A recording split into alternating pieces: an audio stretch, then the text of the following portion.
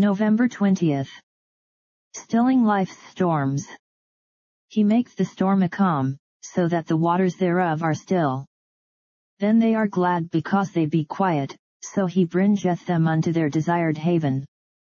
Psalm 107 29-30 This psalm contains five wonderful pictures of life.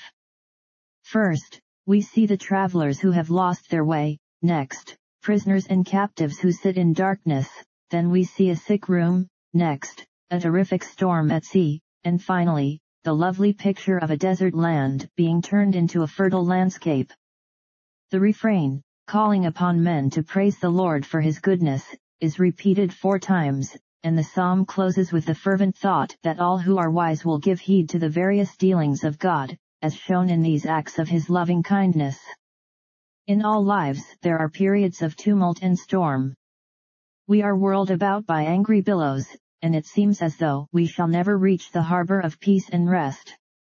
Some give themselves up to such experiences as a fate which they cannot avoid, or attempt to drown their fears and dull their senses to suffering and danger. But faith cleaves its way through the murky mists and driving cloud rack, and establishes a sure connection with the throne of the Eternal Father. This is what the New Testament calls the anchorage of the soul, and however severe the storm that sweeps over the earth, the soul that shelters there is safe.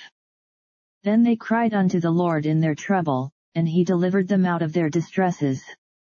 At this moment you may be passing through a storm of outward trouble.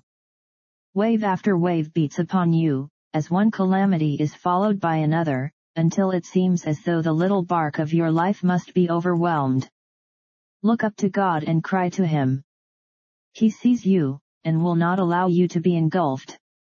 Or you may be experiencing inward sorrow. Your affections have been misplaced, the one you love has deceived and failed you, and the sky is now dark and stormy. The one resort of the soul when it is hard driven, is to look up to him who holds the winds in his fist, the waters in the hollow of his hand, and who cannot forget or forsake those who cry to him. Prayer. O God, we will praise thy name for thy goodness to us, and for thy wonderful works to the children of men.